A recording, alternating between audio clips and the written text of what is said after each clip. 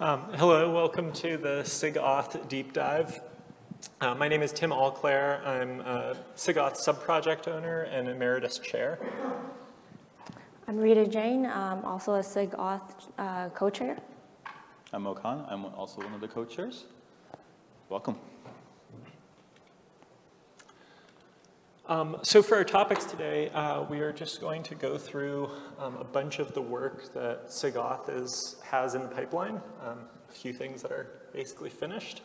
Um, so we've got a couple things uh, that recently graduated to stable that we're going to talk about, um, uh, a bunch of things that are kind of uh, in the progress of being implemented, um, and then a few uh, provisional, sorry, uh, a few KEPs that we're um, still working through the design of. So um, show of hands, who here is familiar with pod security admission? All right, pretty good. Um, yeah, so pod security admission uh, graduated to stable in 125, which is the same release that pod security policy was removed from tray-in. Um, so pod security admission we designed to be like super simple security out of the box for Kubernetes enabled by default. Um, it's not exactly, well, it's not at all a feature complete replacement for pod security policy. Um, and so this was kind of covering the like, you know, 80 or 90% use case. And then for everything else, uh, we're referring people to um, uh, the whole ecosystem of policy engines um, and other options around that. Um, yeah, uh, oh wait. You want to talk about the tool, the, the migration tool? um, yeah, so I, I, did a talk on the uh, topic of migrating from pod security policy to pod security admission um, yesterday. So if you didn't manage to catch that um, and you're interested in that, I recommend watching the replay. Oh, sorry. yeah, we uh, also have some guides published on how to do that migration. Um, and we have a, there's a Kubernetes SIGs project uh, called PSP Migrator, um, which automates a bunch of the tasks in the, the migration workflow, like um, uh, identifying mutating PSPs, which when you disable that can potentially cause problems with things that uh, no longer work. So if you're familiar with certificates and the CSR API within Kubernetes, uh, traditionally speaking, when you asked for a certificate, uh, you were completely on the whim of the signer to decide the length of that certificate, uh, which for all intents and purposes meant somewhere between one and five years as a cert that came out with no revocation attached, so amazing security. Uh, but uh, we fixed that not too long ago, so now if you want, you can request the duration of your certificate to be shortened as low as 10 minutes. And all the built-in signers to the controller manager honor this, the GKE signer honors this, cert manager signers honors this, and I, I think I found all the ones that were open source and I fixed them. So uh, it's optional, but well supported, I think, now. All right. Um, so now we're going to talk about the implementable KEPs uh, that are that, that, the, the SIG is currently working on. Um, how many of y'all are using uh, KMS encryption or encryption at rest at all? I just want to show a hand. Cool, thank you, great. thank you for doing that for your companies. Um, uh, so yeah, so for both V, uh, for both V1 and V2, um, there's been some changes uh, that that's coming along. Uh, for example, default crypto uh, algorithm eh, for KMS data encryption is now default to GCM. Um, so uh, for those who uh, didn't want to use CBC, now that is uh, available by default. in 124, you can still use CBC, and both CBC and GCM are in read-only format. Uh, and starting in 125, um, write will start using GCM by default, um, but read can still support GCM and uh, CM, CBC for backward compatibility. Uh, and then starting from KMS v2, um, the default will only be GCM. Uh, and uh, for those who uh, may be following the SIG auth PRs, we just merged CRD encryption uh, yesterday, so really excited about this. What this means for you is uh, in, starting in 126, you can now encrypt your custom resources uh, and just add your uh, custom resource in the list of resources in, in your encryption configuration. Uh, and your pandas are happy. Um, and uh, also, um, you know, as we kind of look at encryption at rest, we're also wondering, um, do the does the community actually want to encrypt all the resources, right? So we currently have an issue open out there. If you think this is important to you, um, you know, a wildcard that actually encrypts everything, as we think should be the default behavior for Kubernetes, uh, in, you know, secure by default, um, please plus one or let us know your, uh, if there's an, an, interest there. And if so, we would like to also push for that and perhaps make that a default behavior going forward. Uh, so please uh, look for that issue. Uh, and we also have hot reload uh, for encryption uh, configuration, especially for folks who have done this in the past.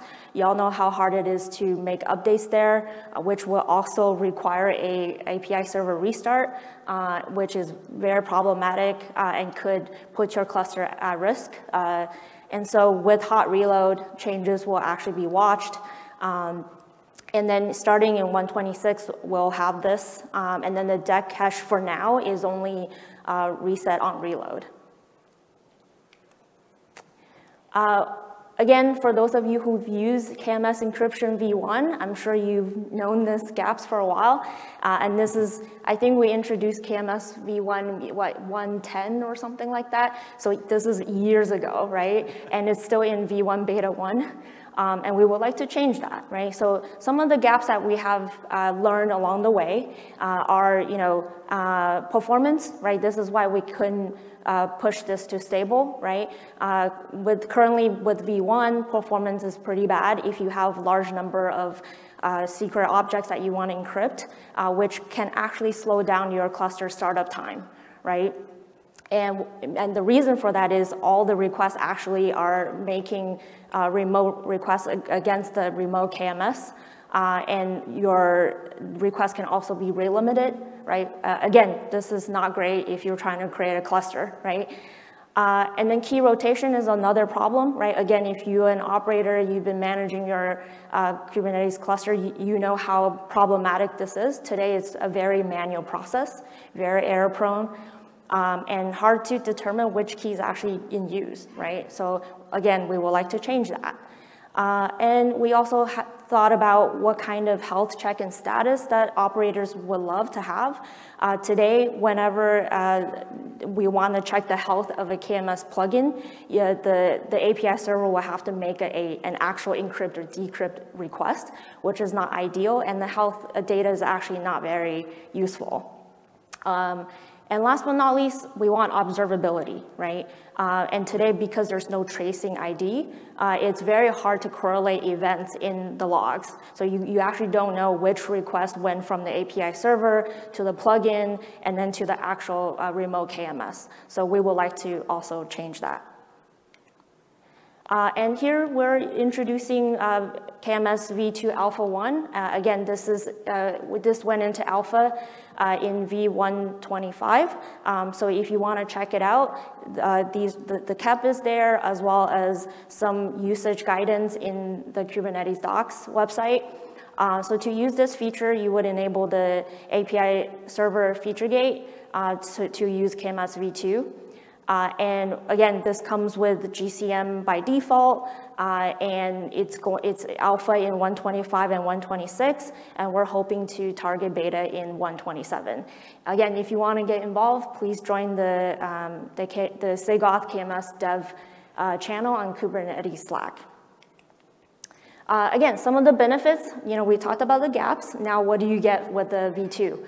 Uh, again, so for performance, we actually have uh, a, an in reference implementation to help all the KMS plugins out there to see how you can leverage uh, the recommended approach, which uh, has a key hierarchy design such that um, you will have a local uh, key encryption key so that you reduce the number of remote requests that you have to make to the remote KMS.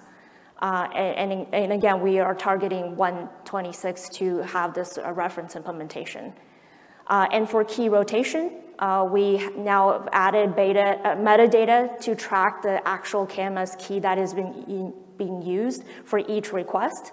Uh, and again, this allows us to actually have automated rotation without ha having to restart the, K the API server. Uh, and we've introduced a new status API.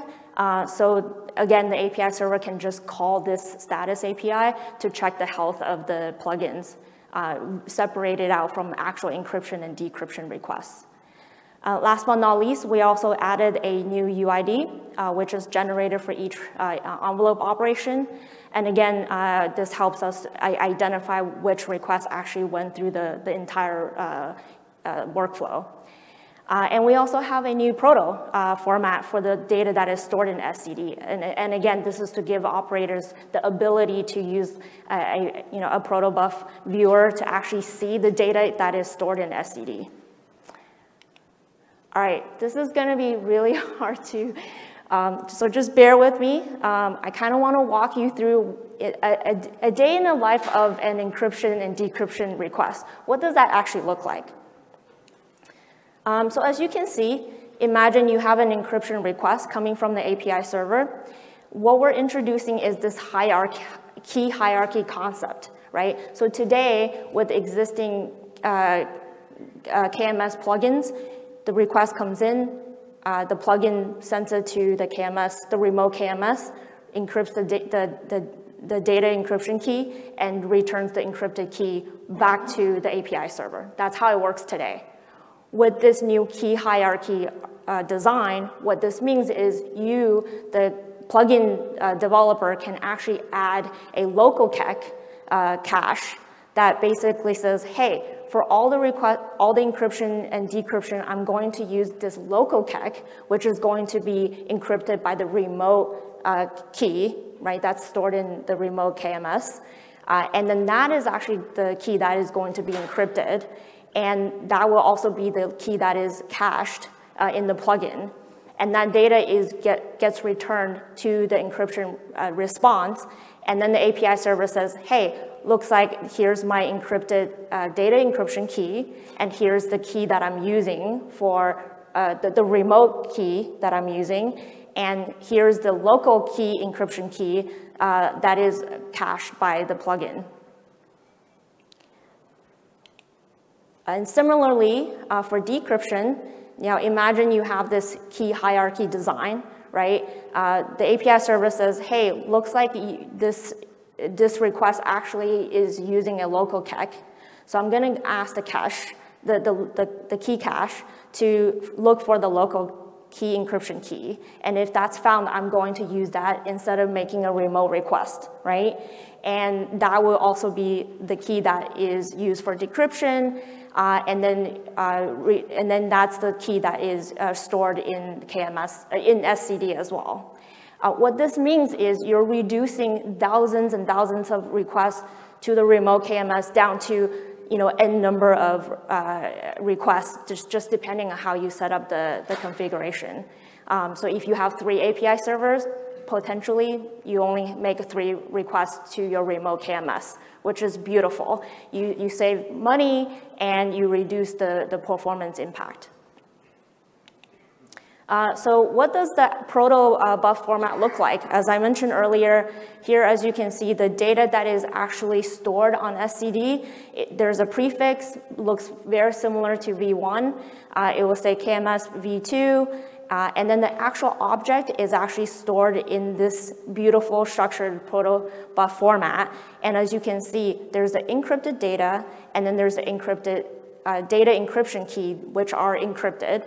However, the key ID and the annotations are not, in, uh, not stored in an encrypted format uh, so that as an operator, you can actually go and look at this data and understand which key was actually used for encryption and decryption. And then there's also a little room where if you want to add things, you could add to the annotation. Um, but very, very tiny uh, space there. All right, Thank you, Rita. Uh, so I guess as a member of SIGAuth, at some point I got exhausted by not knowing who I was on a Kubernetes cluster. Uh, so we added an API so you can do that. Uh, so it's alpha in 126. And I expect basically no changes to this API because there's basically no inputs and I don't really know what else it would do. So hope, hope to see that one soon. uh, so anyone here familiar with Client Go credential plugins? Anyone seeing all the fun warnings coming out of like the GKE CLI saying it's going to get deleted soon? uh, same is true for ACAST, don't worry. Um, but uh, if you're familiar with the interface that that mechanism has, it requires that the credential that is used for authentication be directly passed to ClientGo or kubectl as an example. That means it cannot be based off of like a hardware-based uh, uh, credential because hardware doesn't give you the credential. So this is an extension to that existing API that will allow us to support something like uh, MTLS with you know, keys that are stored in the KMS, uh, as well as uh, if you want to run like a front proxy in front of your API server and you want to have uh, signed requests, it'll be able to do that. Or maybe you just want to add some custom headers for logging or audit purposes. All, all those things will be possible. So instead of just purely being able to pass a credential, you'll be able to basically fully control the request before it's sent to the API server. Um, continuing on with the theme for certificates, uh, we want to make it easier for consumption of like certificates and, and signers within the Kubernetes ecosystem. Uh, as a first small step in that direction, uh, we are working on adding a dedicated API called the Cluster Trust Bundle to allow you to specify CA bundles that can be reused in various contexts within the Kubernetes API. So the initial implementation will just be available as something the kubelet can mount into your pods for you. Uh, going on in the future, there's still some uncertainty exactly all the places will do this. Uh, one sort of obvious place is the Kubernetes API server. Uh, so for example, if, if you've ever had to configure CA bundles for admission webhooks, uh, it'd be really great if you could configure that in one place and update it in one place and not have to remember every other place that you had to update that. Um, one of the open questions there that's still undecided is the API server, unlike most clients, is um, you know high memory, high CPU. Uh, we can kind of hold it to a higher bar, and traditionally we haven't uh, had revocation support in certificates in Kubernetes, uh, but this is one place we're exploring being able to add uh, like CRL support, so that way if you wanted to revoke a cert, at least the API server would honor it for you. Uh, and I suspect that's a client that many people care about. Uh,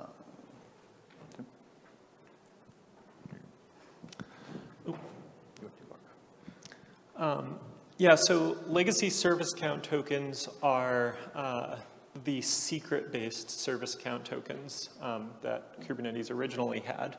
Um, in uh, I can't remember, when did we introduce bound service count tokens? I think 23? Something like that? I think it was GA, I think, in 122. Okay, so in the last two years. yeah, it, has been a long time. We had bound service count tokens, which are generated on the fly for a pod running with those service counts, um, with that service count, or anything that wants to create a token review request. Um, those also expire. Uh, they're bound to, they have a expiration time and need to be refreshed, they're also bound to the pod lifecycle. Um, but we still, in Kubernetes, have these uh, legacy service account tokens that are still generated for uh, each, um, well, they were still generated for each uh, service account. Um, and so you still have these secrets that if someone managed to, if, if those got leaked, they would still be used, um, could still be used. They weren't, uh, they never expired. Um, and so we're excited to be able to, to get rid of those um, for cases that don't need it. Uh, so as of 124, uh, we're no longer um, auto-generating those. Um, and then in 126, we're adding an alpha to make it easier to migrate clusters off of legacy service count tokens. Um, and so there's a, if this feature is enabled, there's a couple tracking uh, features that get added. Um, so the um, so if you do use the legacy service account tokens, it gets a warning. There's actually like labels that get added to the uh, secret itself um, to represent the, that, to show that those have been used. Um, and uh, yeah, make it easier to identify the use and, and migrate off of those.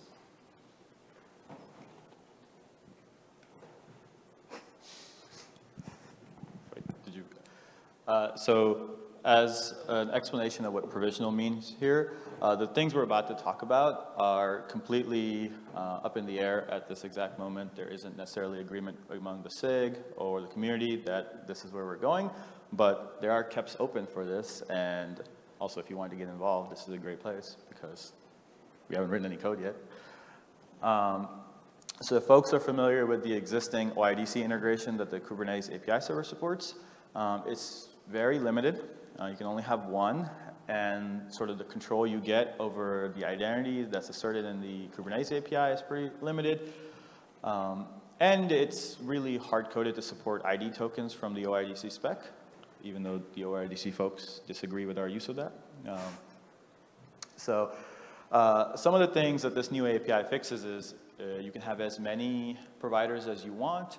Um, and uh, following along the, less, uh, the rest of the Kubernetes community, we are uh, hoping to use CEL to give you much more flexibility around how you actually assert the identity to the Kubernetes API server, as well as how you validate constraints on those identities. Um, so you can kind of see some examples on the bottom for how you would validate that an identity is something that is allowed to be on this cluster, as well as how you would actually do the final extraction of claims. Um, uh, our hope is, uh, like one of the things that I don't, we, I know we don't have agreement on right now is, can this be used outside of Kubernetes ID, uh, or outside of OIDC ID tokens? Uh, so I see SPIFFE shirts, I see SPIRE shirts. I Hi. see, I see SPIFFE people. Yeah, I I mean, I, I'm, I'm looking. Uh, so may, perhaps we could use this for uh, SPIFFE dots, you know, that'd be cool.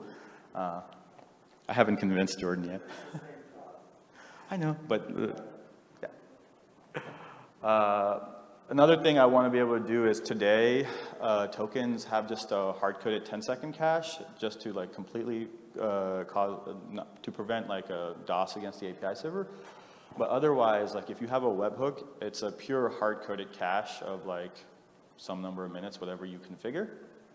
Uh, in the case of JWTs, you know, we, we can have a claim that tells us the expiration time.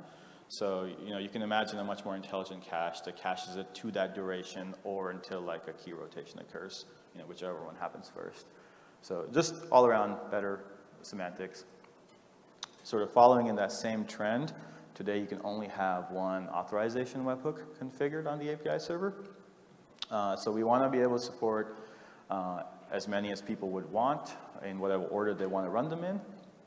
Uh, if folks don't know today, if your authorization webhook is down, uh, we fail open. Uh, so if it was a webhook that could have denied a request, uh, we won't know. We'll just, we'll just keep going, um, which is not exactly what people expect. Uh, another thing that we want to make it really easy to do is, unlike admission that only runs on like create, update, and a few other places, authorization always runs on every request. So if you want to be able to have many webhooks but not have any single one of them being down ca completely catastrophic to your environment, we want to let you scope whence a webhook would be invoked. So if you know a webhook only interacts with like users from a particular IDP that all have a prefix, you know, we want, we want to be able to support that kind of use case. Or if you want to run the webhook on the API server, well, you're going to have a bit of a circle in your dependency graph unless you can filter out certain identities from being um, targeted by that webhook. So we're considering CEL-based filters there. Uh, similar to KMS and various other features, uh, and this is true for the OIDC thing earlier as well, we, we don't want any API server restarts unless like absolutely necessary. So even though these things are CLI flags, uh, we want to reload the config so that way if you can change the file on disk, you don't worry about anything else. Uh, right. So. Uh, Yeah, oh, and uh, last but not least, right, we also want to talk about some of the cross-SIGs work that's been going on. Um, And I think all three actually are part of SIG mach- uh, API machinery. uh, And, you know, as Mo mentioned earlier, multiple times. uh, CEL, this is the CEL for admission control uh, KEP that's, uh, I think, recently merged uh, in one, for 126. And this is going to touch on, you know, policies for admission, validation, mutation, as well as authorization. So there's a lot of overlap between the, the two SIGs. Um, and then also we have storage version API KEP and the API server identity KEP. Um, both are very crucial to ensure we have HA on the API server, which is the foundation to ensure we can actually rotate the, the KMS keys. So it's actually part of the KMS v2 uh, future as well. Anything you want to add? Um, and of course, we couldn't do this without all of the new contributors that made this possible. I uh, just want to give a quick shout out to all the uh, folks who really, really helped us drive a lot of these changes. Uh, Anish, Christoph, Damien, Nilik, Andrew, Tahari, if you're listening, thank you for all your contributions. Thank you.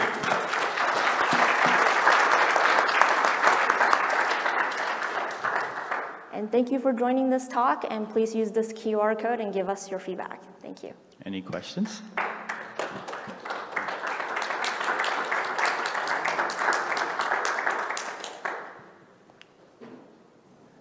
can walk around with a mic.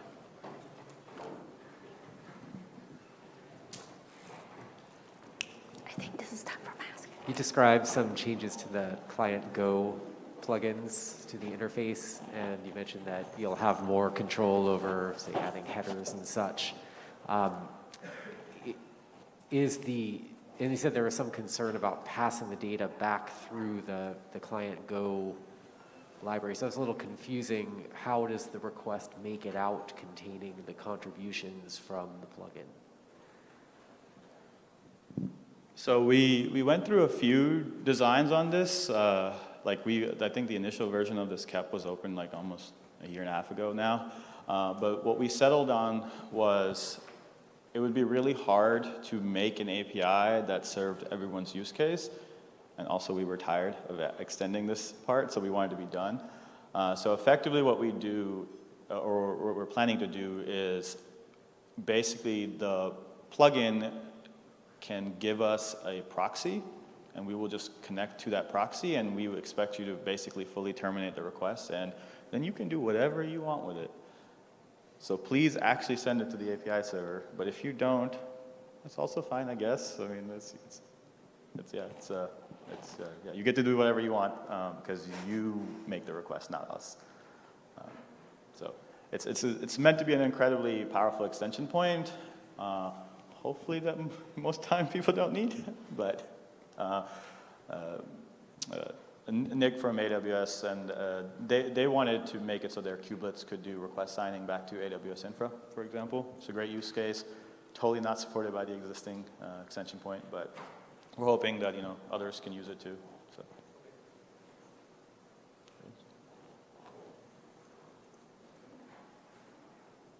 Are you guys excited about the new features that are coming?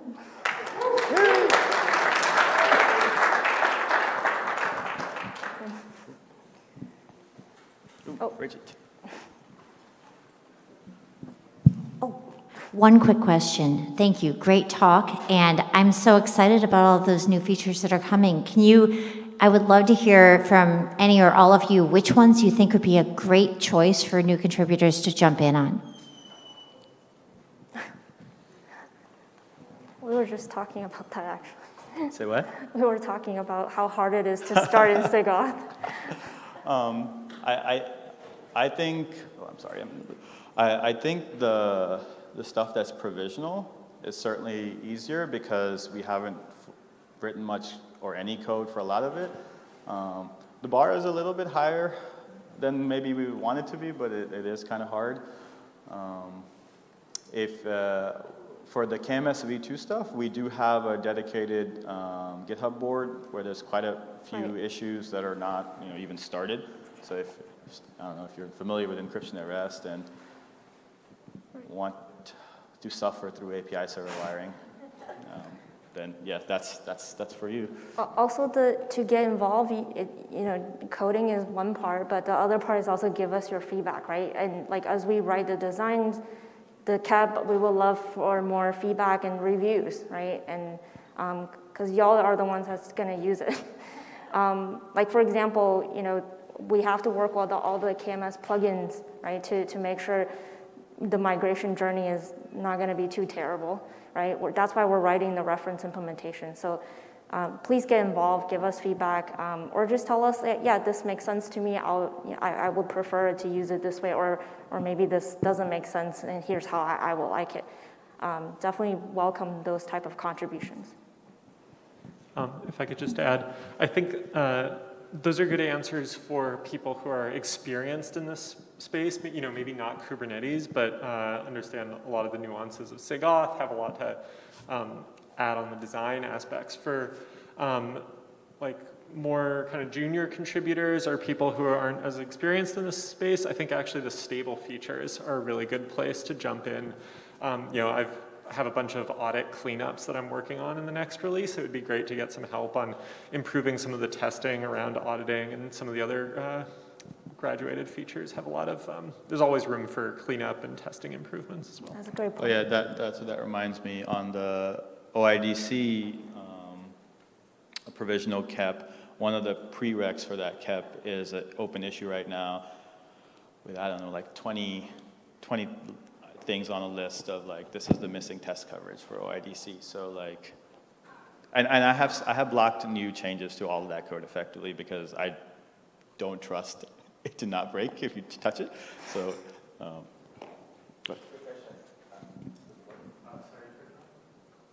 Okay, quick question. Uh, Thank you for the presentation, great design on the key caching. I like the key wrapping part. Uh, I think that's really, really cool thing and will solve a lot of latency issues. Uh, Maybe just a general question, what is the scope of a SIG? What are you guys focused on? What is in scope, what is out? Because I see authentication, authorization at the same time in there. Uh, So SIGAuth owns basically all authentication authorization policy across Kubernetes, so like, as well as like service accounts. So basically, if there's a, like a security aspect to some feature, either we're a participating SIG or we're the owning SIG. Um, so Also it's- policy.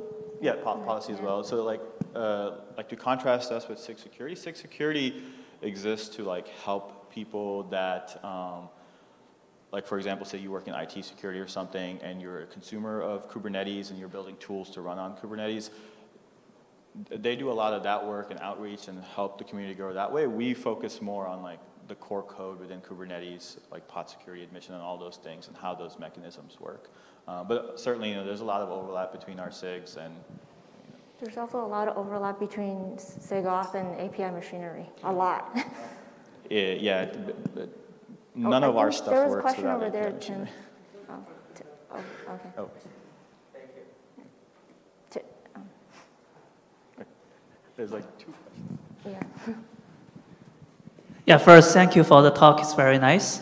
Uh, I have a quick question about the upgrading. It looks like some features are like a break, broken, fe- breaking feature without uh, backward compatibility. So, is there any plan we put some automation uh, in the in the code when user do so that when user do the upgrading, they don't break their cluster, they don't cause outage in the production environment? Was, was there a specific feature that looked breaking? Uh, it's, uh, sorry, it's like the, it looks like the algorithm you use, GCM something. Oh, okay. So, yeah, so we were very careful on that. Uh, so yes, that, if we had done it poorly, it would have indeed been a breaking change. Uh, but the way we wrote it, uh, so we, we do require that you follow the Kubernetes uh, release guidelines of no skip releases. So you upgrade from one version to the next minor version or major version, whatever you want to call it in Kubernetes land. Um, but we always did it in a way so that if you did an upgrade, and used the cluster, realized something was wrong, and did an immediate downgrade, that neither would have any data corruption. So we, we staged it out over many releases, and we have retained basically till the end of time the capability of reading the old formatted data. So like KMS v1 actually has like, I don't know, like two legacy formats that are still supported in our code base, even though we never wrote, we never write them out and we haven't written them out in like 10 releases. We just assume that there might be some old data that's never been rewritten. Uh, so we, we are very careful. I think the closest thing we have to a breaking change is not auto-generating secrets anymore for service accounts. Uh, but even then, you, what? Yeah, pod security policy, yeah. Well, yeah. But we have I a mean, migration But that, that one was, I mean, you can, It's unfortunate. you can run it as a webhook if you really want. so, um, that's fair. We, we did remove a beta feature uh, without graduating. That's fair. Uh, I don't think we'll end up doing something similar for KMS v1 beta 1, uh, mostly because it's, I don't know, if you're happy with it, I guess it doesn't really hurt us, I guess, if you keep using it. Whereas pod security policy did cause all sorts of confusion and just mistakes. Um, I, I just want to call out that, you know, you see, you see no user action required. uh, that's very, very important. And this is exactly why uh, we want to make GCM as the default for write, but for to read, you can still do uh, both, right? Um, but the hope is that slowly everybody would just migrate to GCM. Yeah. We're at time, but happy to stick around and take more questions in the hallway. Thank you for coming.